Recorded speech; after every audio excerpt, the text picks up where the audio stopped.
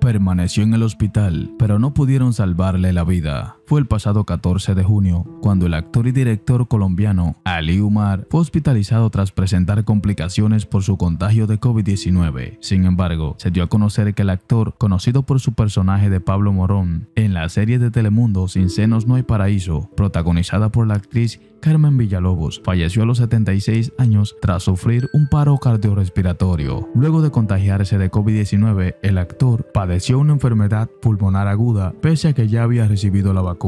Con profundo dolor, informamos que hoy murió Ali Umar a los 76 años de edad a causa de un paro cardiorrespiratorio y después de batallar con una enfermedad pulmonar aguda agravada por el COVID-19 y a pesar de contar con su esquema de vacunación, dio a conocer a la familia por medio de un comunicado. El actor tenía 40 años de casado y tuvo dos hijos. Algunos compañeros del actor enviaron sus condolencias tras su fallecimiento.